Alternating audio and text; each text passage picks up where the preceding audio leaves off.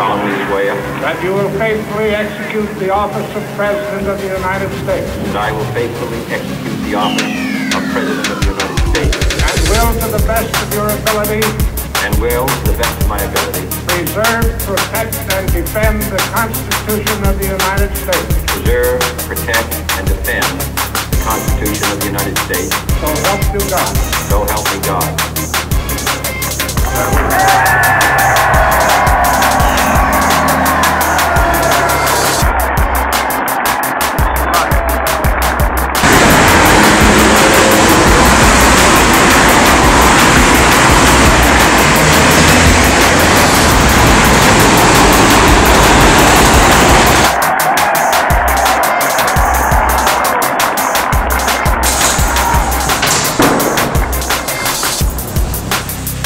Vice President Johnson.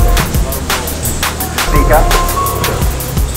Chief Justice, President Eisenhower, Vice President Nixon, President Truman, Reverend clergy, fellow citizens.